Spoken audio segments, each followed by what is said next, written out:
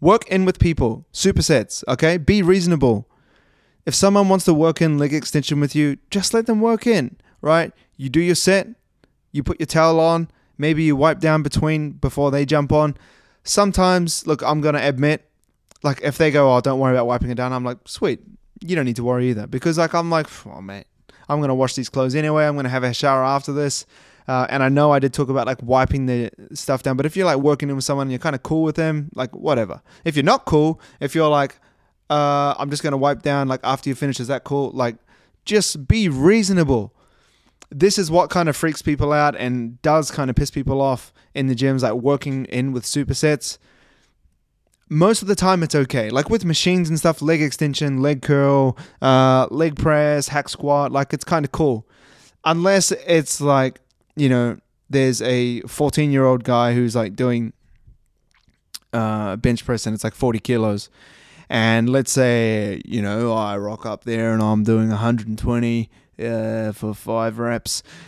And uh, he's like, Can I work in?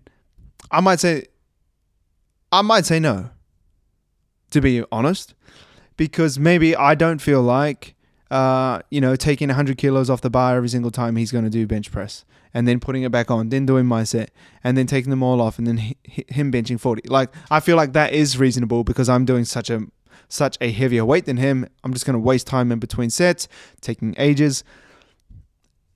Uh, I think with squat racks, like if someone's deadlifting a lot, maybe don't work in with them. If someone's like squatting a lot, they're way stronger than you, maybe don't work in with them. Um, but most of the time, like pin loaded machines, I think you can. Like you're just moving a pin from like 27 kgs to 64 kilos. Okay, now you go. All right, take it out. Bang, bang. All right, you go. With free weights, I think there can be a bit of conversation around it, like sharing barbells and and things like that. If the weights are reasonably close, I feel like you can have a bit more of a like, look, man, like I'm just kind of like doing my training, so like just like let's let's not work in today. um, or if you're doing like short rest periods and they need like and they need to be like every 30 seconds or every 60 seconds. Like someone working in is probably going to take longer than that so that's going to throw your workout off.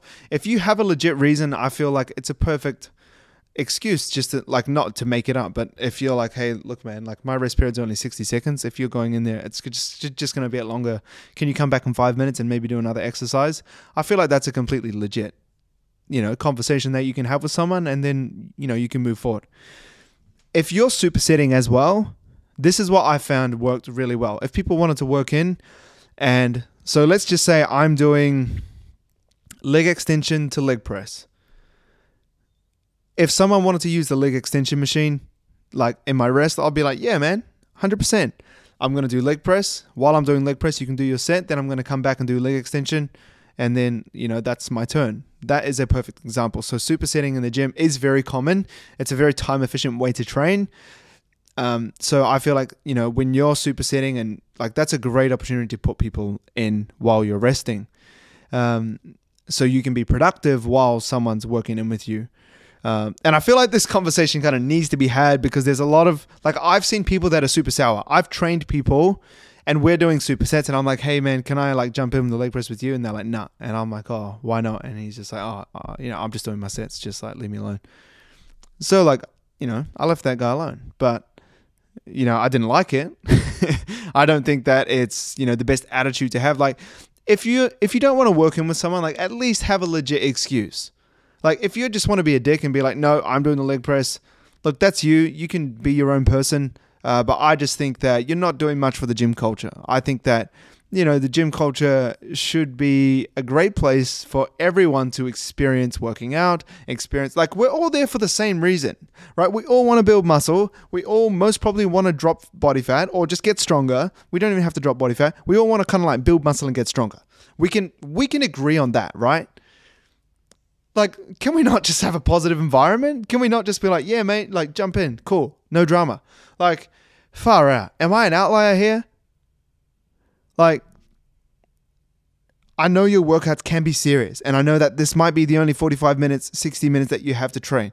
Then give that reason. Don't just say, no, piss off. Like, hey, mate, I'm sorry. I like I I only have like 60 seconds rest. I'm doing this leg press. Like I've got 45 minutes to train. I'm just trying to bang it out. Like, can you please use another leg press or can you just wait like a couple of minutes while I finish? I would happily wait because I have a legit reason. It's just communication. Right? Just like a a good relationship between husband and wife works with good relationship uh, communication, open lines of communication. The same works with gym culture. Just chat it out, man. Chat it out. Superset. Work in.